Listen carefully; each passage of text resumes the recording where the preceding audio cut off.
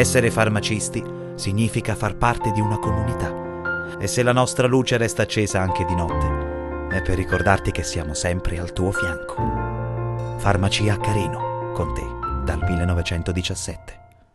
Continua l'azione repressiva a tutela del mercato dei beni e dei servizi da parte della Guardia di Finanza del Comando Provinciale di Salerno, che, in vista delle festività pasquali, ha intensificato l'attività di controllo del territorio con lo scopo di contrastare il commercio di articoli non sicuri e potenzialmente pericolosi per la salute degli acquirenti. Le fiamme gialle della compagnia di Cava dei Tirreni hanno trovato, in un esercizio commerciale di Baronissi, circa 170.000 prodotti, privi delle necessarie certificazioni previste dalla normativa in materia di tutela del consumatore e non conforme agli standard di sicurezza.